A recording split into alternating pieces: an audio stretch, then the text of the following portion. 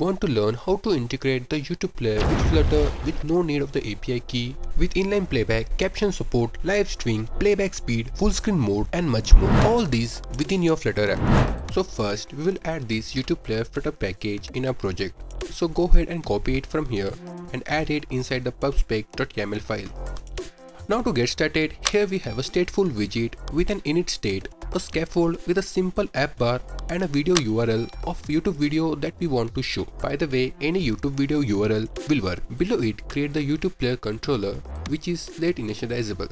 So before initializing this controller, inside the init state, we will get the video ID by calling the YouTube player dot convert URL to ID and give it the video URL variable, where the video ID is simply this string in the URL. Now we will initialize the controller by calling the YouTube player controller. Now init add the initial video ID equal to video ID. Then additionally we can pass flags like flags equal to YouTube player flags in which we can say autoplay equal to false and additionally we can pass these many flags to customize the features of the YouTube player and that's all for the setup part. Now let's add the YouTube player. Inside the column add the YouTube player which requires a controller which we have initialized here.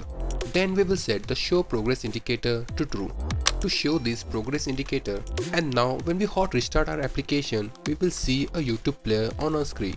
Now to play this video, as usual, click the play button as well as the subscribe button. Just kidding.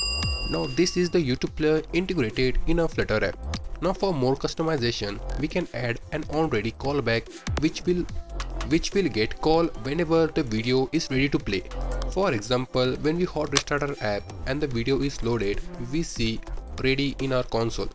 Now this package also provides customization over the widget present in the bottom actions like the current position, progress bar, remaining duration, playback speed button and the full screen button.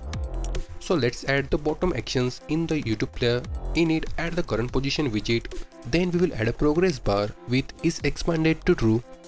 Then add colors equal to the progress bar colors which takes a played color and a handle color. Now on save we can see that the progress bar color has changed to amber.